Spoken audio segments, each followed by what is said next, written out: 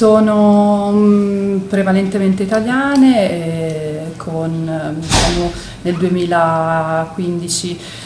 un, più o meno un 70% italiano, un 30% straniere, eh, vittime di vari tipi di violenza, sia fisica che psicologica, economica, eh,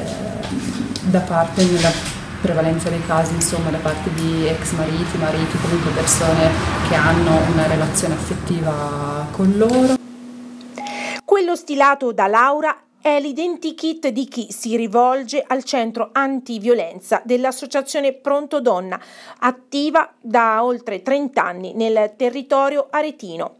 Per conoscere e farsi conoscere, per descrivere al territorio tutte le attività di questa associazione è stato organizzato un evento Muse in Canto, un concerto del gruppo musicale I Cantori di Silvia